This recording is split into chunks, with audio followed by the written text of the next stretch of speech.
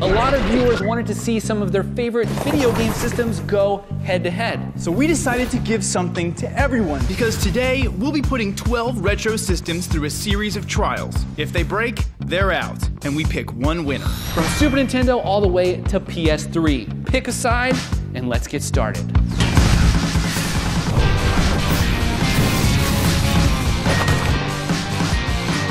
The console wars started in the 90s, with the 16 bit Super Nintendo outselling Sega Genesis by about 9 million units. Hold on to your bits, consoles, we're taking you to the battle ring.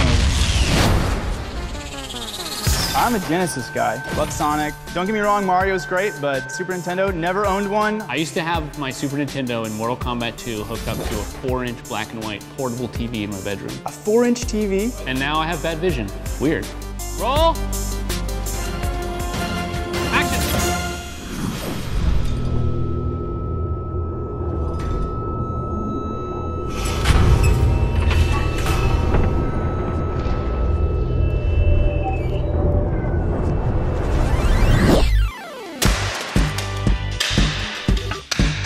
God, what have I done? Okay, so structure looks pretty good, but the power switch is feels a little wonky. Super's still got its controller, it lost its game. Oh, this power button's a little wonky too. Erik, I know you love your Super Nintendo, so try it first. Okay. Oh, the switch. I can't angle it. I think it's done, bro. No! I have hope. Boom! All right, Genesis. one. Next, both companies upped their bits with the N64 and Sega Saturn. Then Sony introduced the first PlayStation and outsold both its competitors. All right, so we're about to do second generation, lot of hours playing these games and not talking to girls. This is essentially the default version of an N64, just an N64 with GoldenEye in it. yeah. There's not many other kinds I know.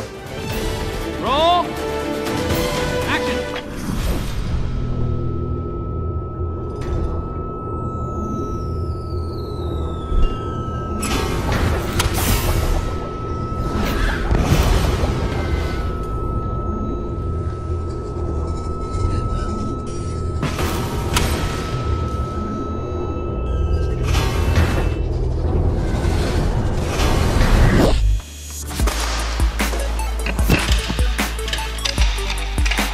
The N64 cord caught! Extra damage points because it's 64. It's in midair, and then the cart would. it was like a train collision. All right, Erik, what's the damage? It looks uh, significant. Look at the Saturn. It's just like ready for action. All right, let's plug him in Test them. carefully. Sega Saturn, let's see what happens. Even if it powered up, I don't think we, we couldn't even open the tray because the tray button is gone. Nope. Done. PlayStation original. Got an interesting problem here. The case won't shut. I'll hold it down. All right, hold it. Teamwork. Okay, ready? Yeah. Okay. PlayStation, done. Now this guy. We're both rooting for this one. Okay, I'm gonna do it. Come on, Pierce. We got a light. We got a game. All right. Okay, just turn the cameras off. We'll be a couple hours. Looks flawless. And I think cartridge games, I mean, they're great. I'm just gonna leave.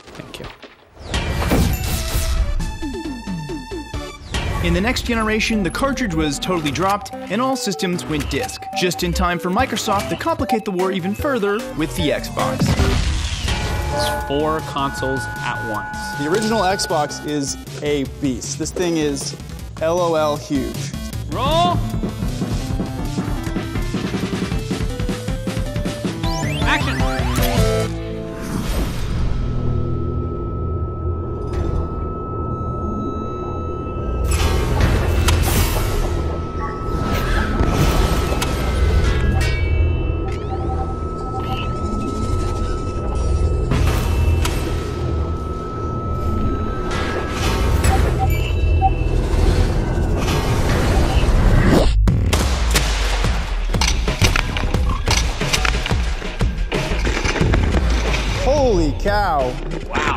That was a lot of destruction. That's like a four car pileup. Let's plug them in and test them. Let's go ahead and talk about the two that I don't think we can even test. Xbox One original, Faceplate's gone.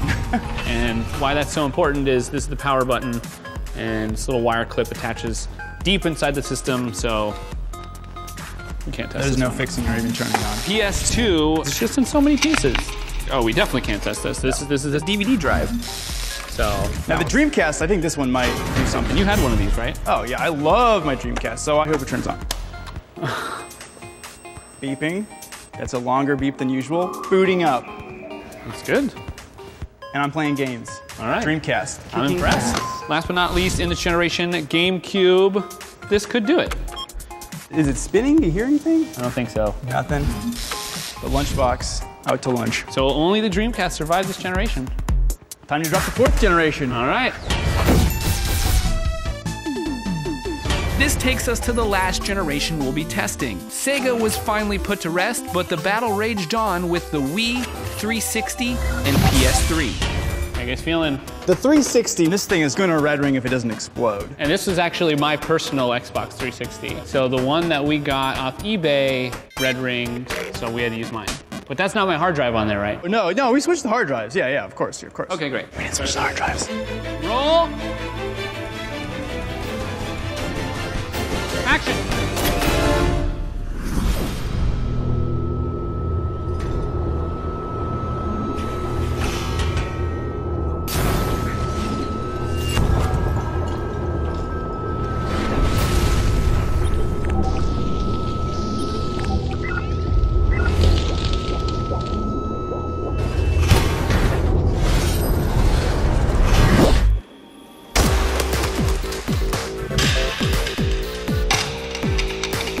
How does the PlayStation 3 look?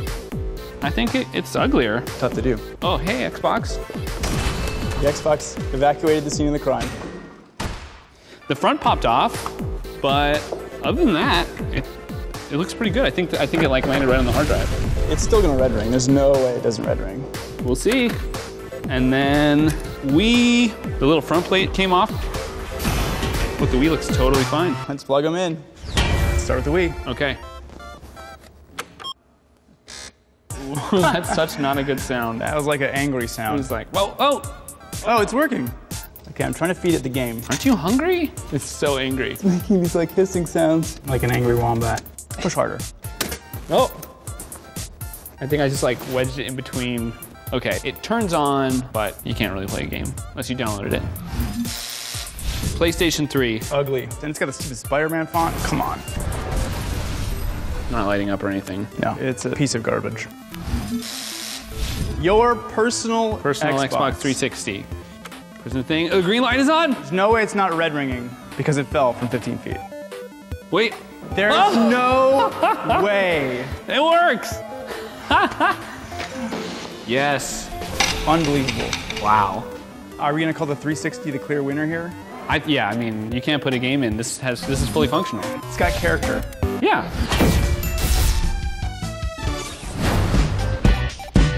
For our second test, we made our own special blend. This is Battle Dew. Let's say you got a late night video game session, you get some Battle Dew on your console. Will it survive? We're gonna find out. Roll.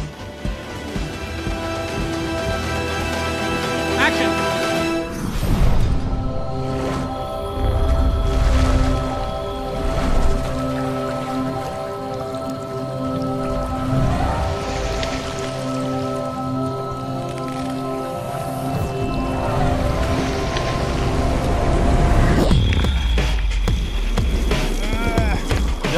They boot up? Will we electrocute ourselves? Find out. Let's test them.